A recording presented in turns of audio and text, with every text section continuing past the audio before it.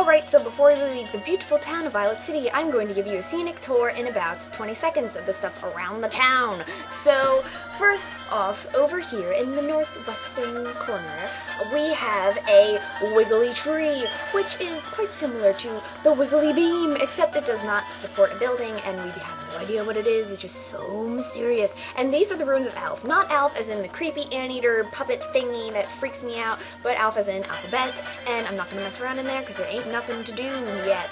So I'm in this new route south of Violet City that will take you to the Union Cave, which links you to Azalea Town. And first off, I pick an apricorn because those are so useful. This man is like, wait, wait, I have something to give you. And this time it's um a what's it called? Miracle Berry, which boosts your um, grass attacks, which is helpful if you got Chikorita, but nothing else, or if you caught Bellsprout if you're crazy. So, um, who cares? I'm going down this route with my and we're gonna fight this first youngster trainer. And he's all like, hey, battle time. I'm like, break it down. No. Um, so he does send out a Rattata, and I have my new Gastly on my team.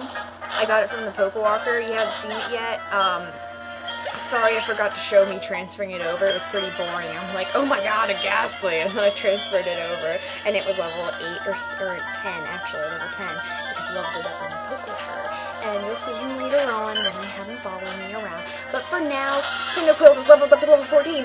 what does that mean?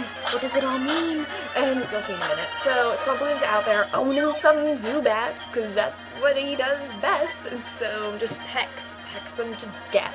Um, yeah, just go at it. Just go. Sorry, the qui the quiet's a bit the quiet's a bit music.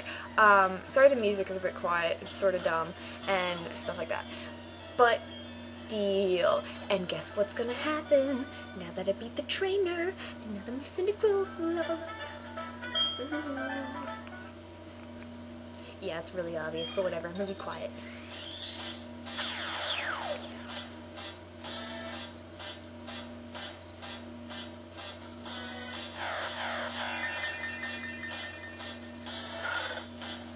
Trainers, if you said Quilava, you were right! No, um, seriously, it is Quilava, because that's what Kago turned into, because Cyndaquil evolved, and this is Cyndaquil's last stage of cuteness, so let's all savor it together. So it flashes into daytime because I fell asleep, and, um, I'm just talking to my Quilava, and he tells me he loves me. I'm like, alright, you're cool.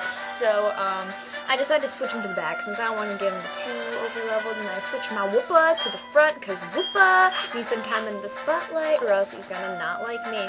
And I love leveling them up all evenly, it just makes me feel good inside.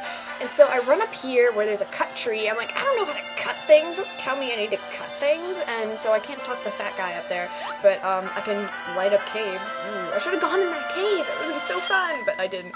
And um, so here's a picnic or emo girl sitting here in a little emo corner of like a mountain. What are you doing there? What are you doing? She's like totally lost. You, go find your freaking scout leader and report to her and get your little badge of like I sat in an emo corner for 10 hours. So that's where she is with her little Nidoran playing with her Nidoran and um yeah. So I killed the Nidoran. She's like, boo hoo. So she's like, whatever. Can I have, like, no, I'm not going to take her phone number because she is so irresponsible. She got lost and she's going to get kidnapped one day. And she's going to be like, maybe I can call this Annie girl. I'm like, I'm not going to care. I don't want to have to put myself through that for her. So I don't. And I switch my new Gastly to the front. And now people are going to, like, walk up to me and go, like, uh, uh, uh, it's a guga, I'm like, yes, it's a ghost. It's Gastly. I'm not cursed, okay? So, um, I have to walk around with this Gastly following me, and everyone's gonna be giving me, like, shifty lenses, like, am I hallucinating? No, you're not, it's Gastly. So, um, I go down this place, and oh my gosh, oh my gosh, it's like the electric railroad thing. Oh my gosh, I totally forgot about that. I'm like, whoa, what is that? And then it, like, dawned on me, and it was like, sunrise. And I was like, ah, that's the electric railroad thing. So it is so cool, and it's like casting a shadow over top of these nasty fishermen. So these stupid fishermen are gonna get owned by my ghost because you know they've never seen a ghost. They're like, oh my god, it's a ghost. And so that stupid plagues are putting me to sleep. And I'm like, oh, don't do that. So um, it's squirting water everywhere, wasting time. And it's like, you know what? When I wake up, I'm going to put you to sleep, and I do. So it's like, yeah, Poliwag, take some of your own freaking medicine. Is like over there taking his medicine, I guess. And I'm like, yeah, I'm just gonna lick you to death. So, um, licking things is so funny. I don't even know why it's a Pokemon attack, which is sort of ridiculous. Like, if someone sent out a Gengar? It's like, Gengar, use lick. And he's like, blah. I'm like, ew. So, um, yeah, Lick is an hilarious, it's a hilarious attack. And I keep putting him to sleep because, like, I do not forgive you once you put me to sleep. No, no, no. So, my Gastly is so sad. And half my Pokemon I'm using right now are from my Pokewalker because Pokewalker is so fun, even though it's cheap at times. So, here is the next man, and he has the Forbidden Fish, Magikarp. Yeah, what else? So, um, it's flopping around. I'm gonna lick it to death. I get a critical lick. What?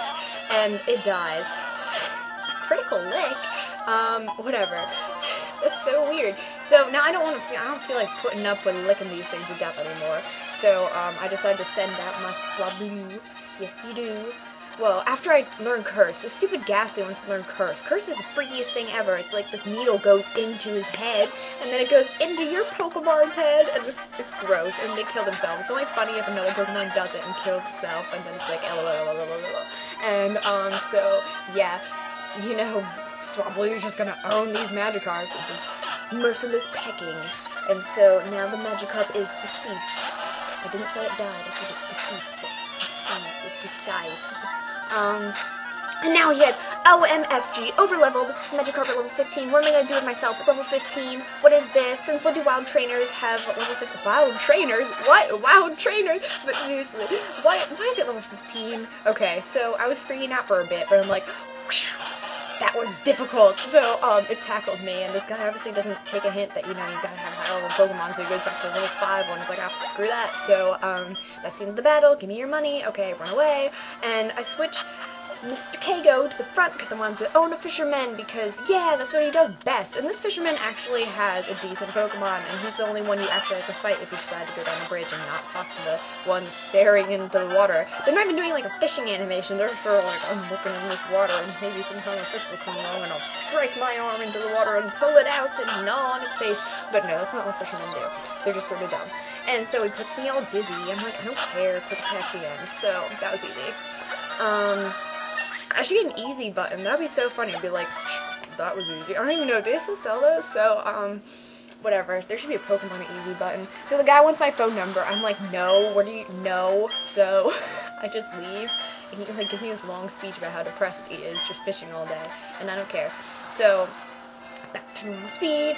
We are walking through the forest, and here's the last little youngster dude. And guess what he has? He has a Wooper. So I'm like, oh, you have a Wooper? I have a Wooper. Do you want to see my Wooper? So I send out my Wooper. It's like, look, our Woopers can be friends. Maybe we won't have to fight then. But he's all like, no, they do have to fight. And he just mud squirts me. What the, what? What attack is that? And um, my Wooper doesn't know that. So it's stupid. My Wooper only has like two attacks, and I'm mad. I don't know why half my Pokemon don't know all their attacks. Probably because some dumb purple thingy going on, but I don't care. And, okay, so our Woopers can't be friends. What are you doing? Oh, your Wooper likes to take my baths, mine does too. They could be such good friends! Ugh. So he ruins their chance of friendship, and my Swablu just has to own him. And so it's like, okay, I'm gonna go explore up this hill, because going up the hill to get some items would be fun, right? But first, I encounter a Mareep, and it's like, it just touches my heart. Look at his sad little face. He looks so lonely. So I'm like, I don't want to leave him out here to fend for himself the rest of his days until he grows into an Ampharos and dies. Maybe gets chopped up in a lighthouse like freaking Quasimodo Ampharoso. And, um, what the hell? So I catch it. It's like, yay! So... I'm never going to use that thing. I'm sorry. I just felt like catching it because it looked cute. And yeah. So I, I, don't know. Something came over me and I just had to catch it. So here's the other camper dude who just ditched his girl in some rocky corner, and he's over here hiding, I guess, because he is the neutering male. And it's like, whatever, I'm gonna kill you because you're a jerk. And um, yeah, he doesn't even care. And he's all like, um, yeah. So he doesn't want my phone number, which is good. So I'm gonna put on this repel, and um. I have no idea how repel works. Seriously, do you spray it on yourself? Do you spray it on your Pokemon? Do you spray it like freaking pepper spray in the other Pokemon's eyes? I swear, like a Pidgey pops out of the ground, you're like, Psh! it's like ah, and it, like flies away, and like a Claydol comes up, and you just go, and like coat its eyes, and it starts crying. That's terrible. So never mind. That's really bad. And you probably, I just probably spray it all over my hat or spray it all over KO or something like that, and just keep some Pokemon away. Guaranteed for 150 steps or your money back. Actually, don't get your money back. It's not fair. Speaking of money, there's this this one guy. I once.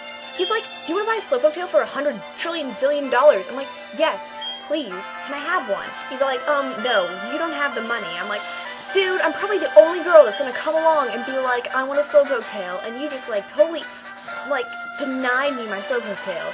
What? It's like missed economic opportunities. Ugh, screw this, whatever.